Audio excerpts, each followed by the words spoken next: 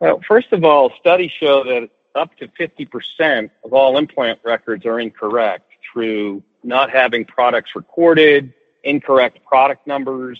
The impact on quality of the patient records is significant. Millions of patients undergo surgical procedures every single day. They place their lives in the hands of healthcare providers who are committed to delivering safe, functional, and sterile instrumentation for every surgery. Working behind the scenes are the technicians who go largely unknown, even to the patients whose lives are so dramatically impacted by their work. This is Beyond Clean, the global voice of sterile processing. Join us as we explore this hidden world and introduce you to the unsung heroes who are driving the advancement of our profession. And now, your hosts, Justin Poulin, Michael Matthews, and Hank Balch. This week on Beyond Clean, we speak with Phil Sayles, founder and president of Summate Technologies.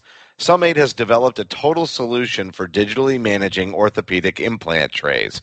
Summate's patented marking technology and software enables the first point implant usage scanning at the point of use during surgery and inside the sterile field, automating the implant supply chain.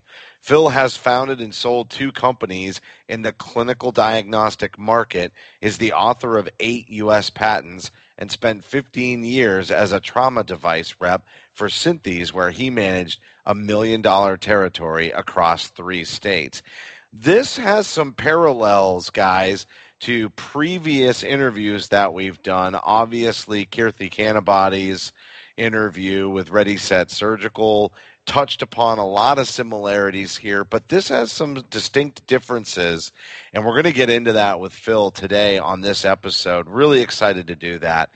And Mike, I don't know about you, but there's just never enough tracking. No, there really isn't. And, uh, you know, the more you look at it, the more you'll be, you know, shocked at just how much is done really old school and hasn't really been updated in 20 years. And I can tell you that if you want to see the look of pure terror, look at a, a sterile processing technician's face the first time they ever lay eyes on a Synthes small frag set.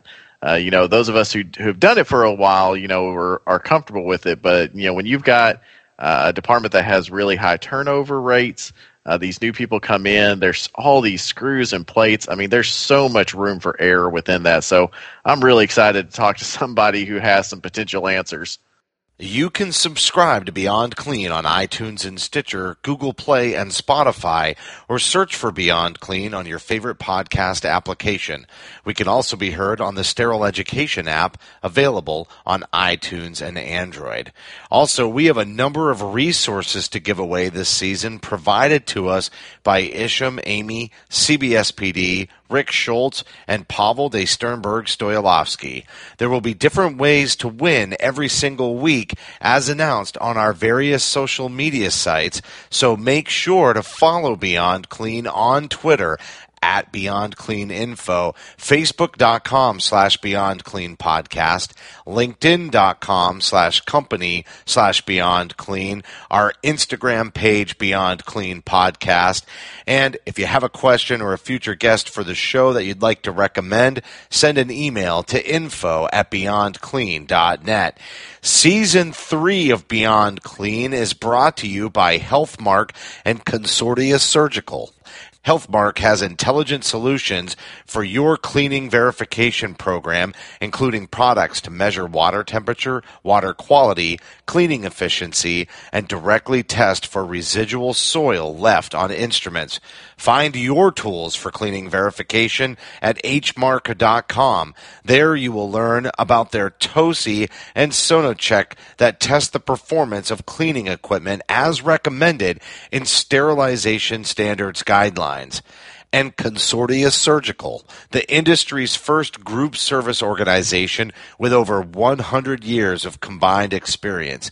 They're unmatched experts in the field of flexible and rigid endoscopy, powered surgical handpieces, medical video imaging devices, and surgical instruments and table attachments set them apart as a leader in perioperative equipment management. Consortia was created with a primary focus on safety, customer satisfaction, quality repairs, and end user training, providing their clients with measurable results, improvement, and cost savings. Contact them today at consortiasurgical.com or 844-394-8900. We'll be right back after a short break.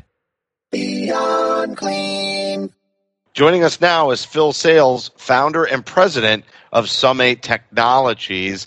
And we've had a few previous guests on the show that have talked about sort of vendor tray management and different aspects of that. But I, we're going to take you to a little bit of a different place with this conversation, and it's about the digitalization of surgical implant management. And I thought, Phil, welcome to the show. Maybe you can kick it off by talking about the scope and the definition of surgical implant management. Sure. Well, I, I thank you for having me on. I worked for 15 years for Synthes uh, as a trauma rep. Basically, what I noticed, I came from other industries. I noticed that the management of the implant supply chain falls to a very manual process of pens, papers, sticky notes, two to three manual input steps at the computer between four to five different people in different areas of the hospital.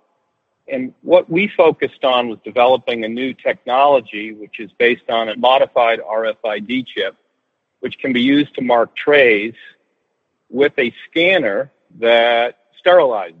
The entire implant recording process can be now done in the field during surgery and implant usage can be recorded and scanned at point of use in surgery. Digitizing the information then allows the supply chain to be digital all the way through, which leads to great efficiencies. It takes us five to seven manual step process down to one scanned automated accurate step. Phil, you said that, you know, usually it falls under about, you know, five to six different people's hands you know, who are those five to six different people? What departments do they work for, and who all is involved with managing these surgical implants as it stands right now? It's a great question. Right now, uh, depending upon the facility and the type of device rep support they have, it always starts with the surgical technician in the field. Typically, they have a pen and they're manually recording on the Mayo stand or the back table in the sterile field what they're using. And that information is then relayed to either a sales rep or a circulating nurse, then manually inputs the information. And then the information is sent down to purchasing, where a person usually manually inputs the information into the computer again.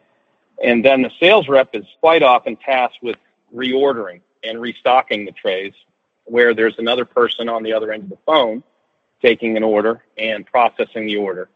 Depending on the hospital, it can be between five to seven different people in different areas of the hospital.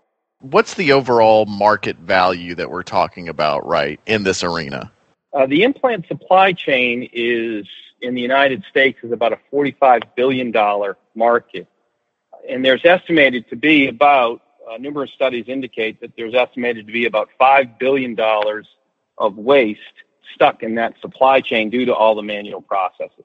Now, Philip, you know, going back to what you spoke about, all the various teams that are involved in the current workflow today and all the hands that it passes, I'm looking at this, you know, maybe from the implant's perspective and thinking, uh, what's the typical life cycle for that particular implant and the documentation that's connected with that in a hospital? And, you know, maybe more importantly, I guess, is in the current process today, what are the potential risks and the most common breakdowns that happen in this very manual process, as you mentioned, and in a process that touches so many people's hands in and outside of the facility? Well, first of all, studies show that up to 50% of all implant records are incorrect through not having products recorded, incorrect product numbers, the impact on quality of the patient records is significant. When I was a sales rep, I would receive several calls a year from hospitals or from doctors' offices, and they wanted to, me to come in to try to help them with what implants were actually in the patient. whether what brand name they were, what type of screws they were, which is a it's obviously a quality issue when you have patients and you don't know you don't have a, a track record or a digital record of what's been implanted in them. The other area that's really impacted is the inventory on the trays or the inventory in the backstock typically has a lot of outdated implants that are non-turning within the system.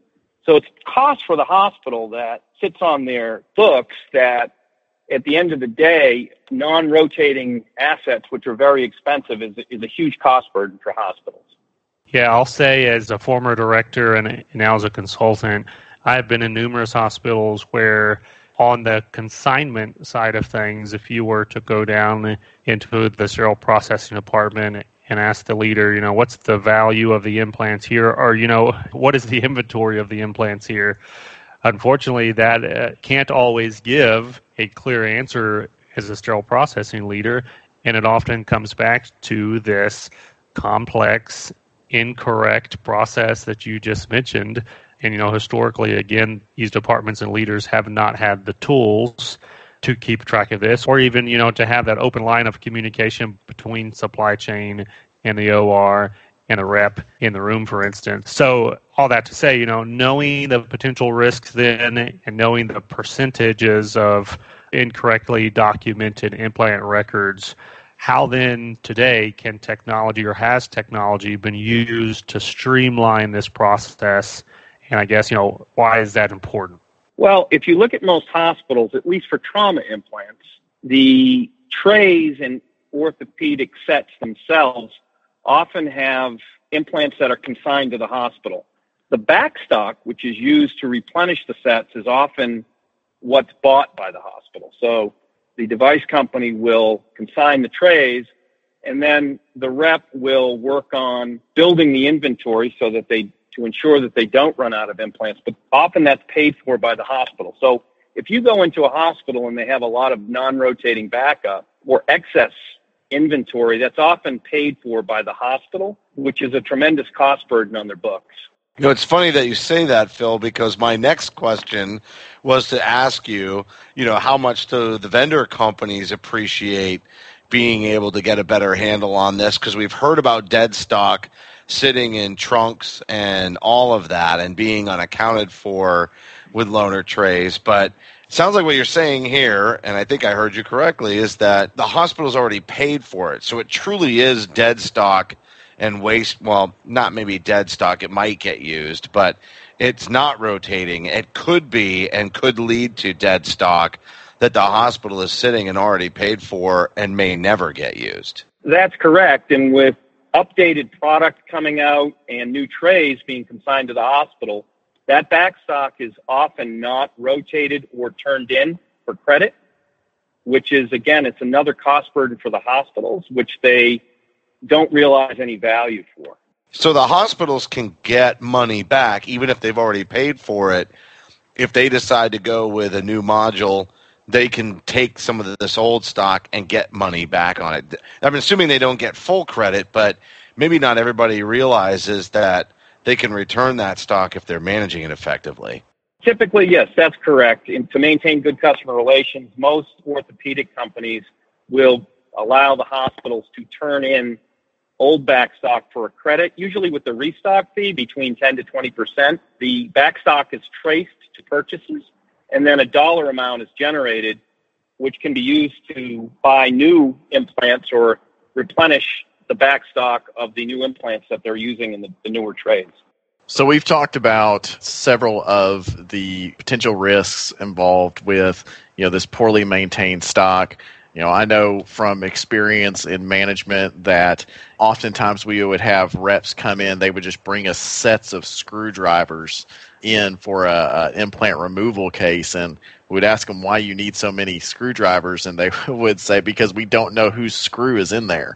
So they're basically guessing at a lot of stuff and that all comes back to you know that those poor records and then of course like we just talked about the money involved is sometimes very staggering how can technology be used to streamline that implant management process Sure. Well, the, the gold standard of supply chain management is scanning at point of use.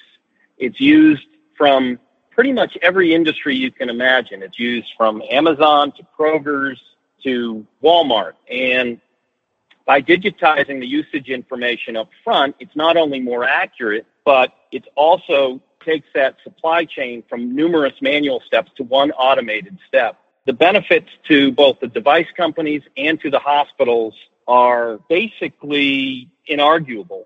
The problem is, is that the hospital OR has been relying on optical scanning technology or trying to implement optical scanning technology. The downfall there is that optical marks lose their contrast and get compromised through numerous reprocessing cycles. So barcodes, whether they're put on stickers or they're laser etched or they are direct part mark, often after 40 or 50 or 60 cycles stop working. The other problem is that they're put on highly reflective surfaces often that have trouble reading the bright lights of the OR. They have trouble picking up the optical signals. So our technology is a little different in that it's short field RFID and it can be used to mark the trays and instruments as well so that they can be scanned much more reliably. So just to clarify for the audience, when you say optical scanning, you know, that may be obvious, but you're talking like you reference barcodes, the data matrix codes, anything that it can be seen in addition to be scanned, I guess, right? Well, yeah. So basically, what those technologies are doing is optical scanning means that reader is literally taking a picture of the 2D barcodes, which is what is commonly used. And in taking the picture, you need contrast. And what happens is the marks fade. The anything that's a surgical asset is exposed to heat, steam, abrasion, in a very harsh environment where the contrast between the black and the white, the binary digital information that's in the mark, becomes compromised over time. And so, anytime that we talk about technology, and I, I know I don't have to tell you this, but anytime that word comes up in conversation, especially if it's a new technology such as what you're talking about today, is there's a certain percentage of the world that just immediately recoils in fear. And I don't know if we have a higher percentage of those in healthcare or not, you know, but that automatically creates a barrier. I'm wondering if is it just a personality issue that creates barriers for adopting these types of new technologies to improve the process, or do you see it rooted elsewhere? I think it's primarily rooted in the fact that in healthcare, there's a high degree of risk aversion just by the basis of what people are doing in the in the operative environment. So I think that's that's one factor that leads to a lack of adoption. But I also think that it's also what I call the mailroom phenomena, which is basically they're so busy and they've got so little time to stop and think and plan that it becomes very, very difficult for the operative environment to adopt change. The other, the other problem is that the operative environment is typically run by clinically oriented people. It's a siloed, sort of walled off environment where a lot of times best business practices find it difficult to reach that environment. It's behind closed doors and the people that run run the environment are clinically oriented. So think processes and business practices that you find in the rest of the hospital, such as pharmacy, such as central supply, where scanning is ubiquitous, are less prevalent in the operating room just by the very, very walled off, sealed environment that exists there. That's insightful. And, and I mean, really, any of those areas, you know, the OR and sterile processing, anything that's behind that red line, it does become more difficult just you know to physically get to those folks but then also as you mentioned you know the siloed communication and as all of our listeners know, that's one of the primary reasons that we started the Beyond Clean podcast is to start getting over those walls, if you will, or you know through the window, whatever it is, to get information and, and conversation going. So I totally agree that that's probably one of the factors here slowing down that conversion process. But I know you mentioned earlier that the technology, in particular, that you're speaking on, it is not a classic RFID technology. And even though that technology, we did an episode here recently talking about RFID into the OR and instrument space. One of the barriers with that is a big upfront capital investment. You've got to have readers in order for all of this to work. And I know you mentioned that with your technology, there's a scanner that's able to be sterilized, but what other aspects would go into making something like your technology work or other technologies in this space in terms of capital investment to actually get it Sure. off the ground and Sure. going? So, so one of the areas we've been keenly focused on is developing an, a return on investment or ROI calculator for the hospital, which is something that can be driven from the CFO or C-level suite downward. One of the challenges that face any type of systems technology that goes into a hospital is that it touches upon a lot of different departments. So when you're talking about software and scanning in the operating room, it not only is used in the operating room, you have IT involved, you have sterile processing involved, you have nursing involved. So it's a factor that leads to a difficult sales process. That combined with the urgency of just making sure the cases go, make the sales cycle on this challenging. So we've developed an ROI calculator that will appeal to the hospital at the CFO level where we can show that there is a clear return on investment through efficiency on scanning at point of use for the hospital to gain. This makes it easier for the hospital to get all the disparate departments that this touches involved in the process. Now, you mentioned previously that you had come out of the medical device rep world uh, yourself, but just kind of hearing this entire conversation and all the impact that it's going to have in the OR room, also down into the sterile processing space. Is technology like this, is it feeding into that conversation or maybe the temptation, if you will, to transition to a repless model in the OR? Or is it just another tool to make that process more efficient? Where does that come down in terms of the device rep themselves? So, so that's a great question, and you've got a problem in the OR in that the surgeons quite often want the rep there because the rep can provide them information and fix problems and answer questions for the surgeon. Although on routine cases, in my experience, the rep is usually not not always necessary, and the rep can be just someone that helps to record things and even change the radio. I mean, I know that sounds silly, but for routine cases, there's absolutely no no need to have a representative in the room. But I think that the surgeons look at the rep as a crutch. And I understand why, because the surgeon is relatively helpless in the field. So having that extra resource there is in an emergency or something comes up that they're not expecting can be very, very helpful. However, as the hospital adapts new tools, learns to utilize technology, I, I think the reps are going to become less and less prevalent in the OR. Research shows that reps add about 20% to an implant case. And I don't think this is a cost that hospitals want to carry. Phil, we've talked a lot about the OR's role in scanning uh, at the point of use. Can you elaborate for us what SPD's role would be then with the management system? Sure. Well, a supply chain as a chain is only as strong as its weakest link. So one of the key features is obviously scanning at point of use during surgery, which alleviates some of the pressure on the circulating nurse to get the implants into the system when she's got a lot of other tasks to complete.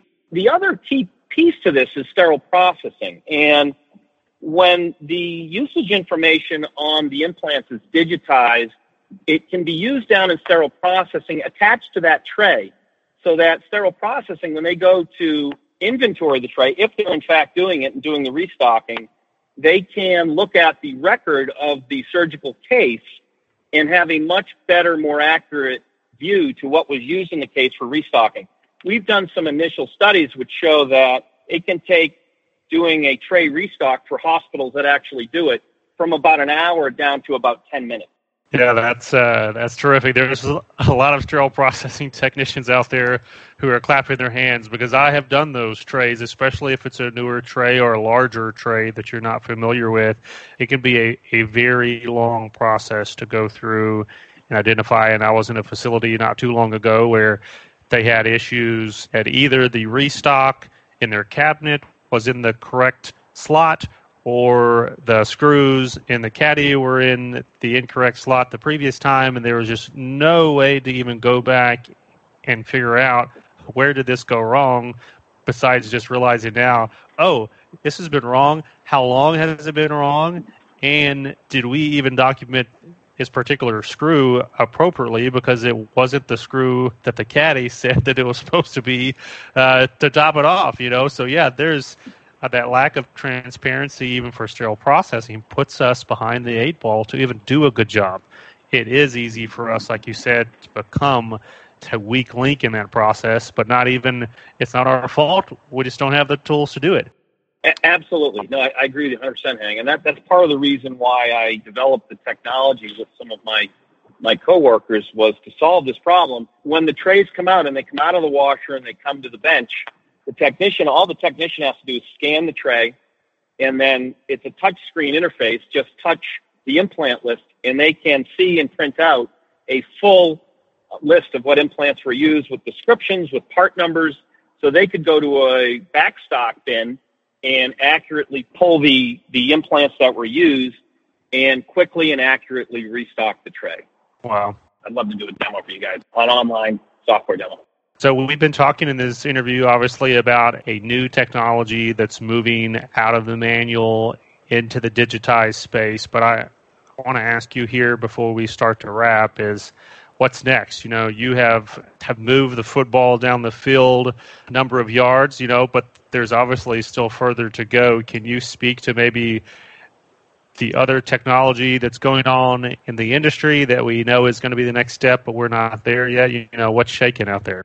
So, one of the key points here is that I think for industry adoption, not only the hospitals and healthcare providers are going to have to get behind this, but I think the implant companies themselves are entering into a more collaborative phase with hospitals where hospitals are, are seen as partners, less just customers.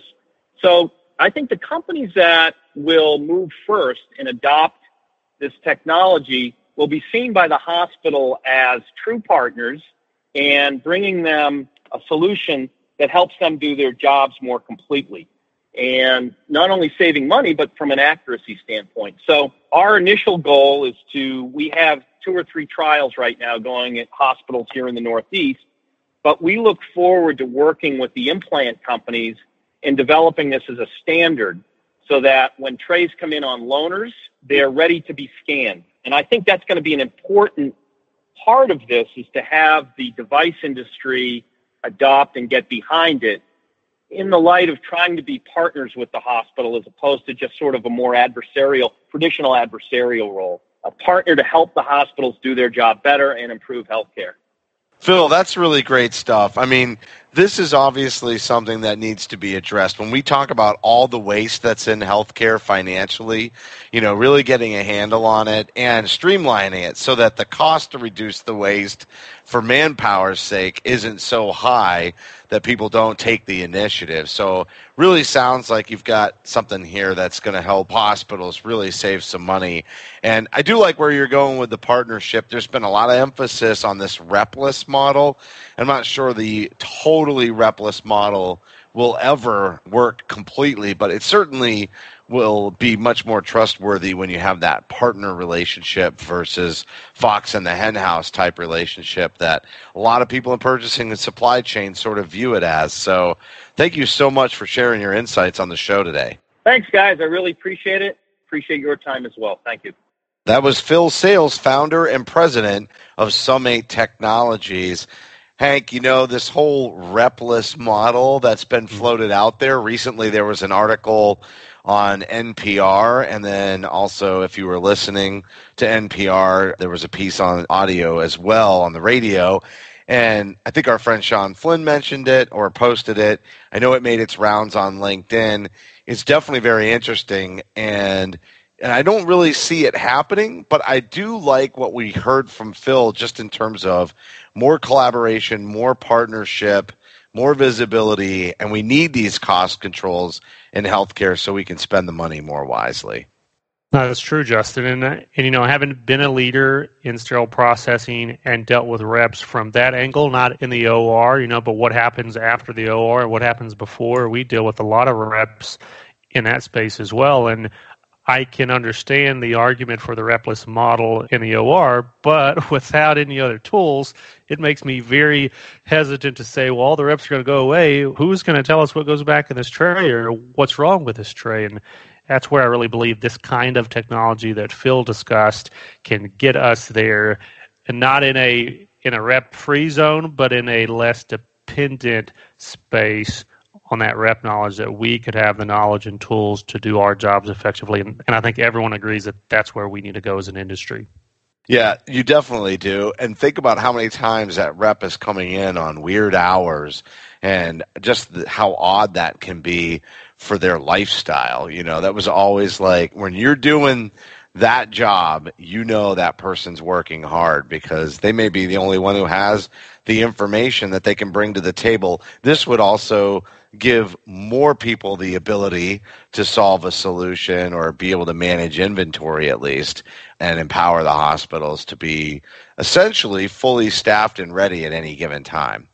That's going to do it for this week's show. As a reminder, you can help support us by subscribing to Beyond Clean on iTunes or Stitcher, and now also on Google Play and Spotify. Simply search for Beyond Clean Podcast. We'd certainly appreciate a rating and a review because your feedback is important to us here on the show.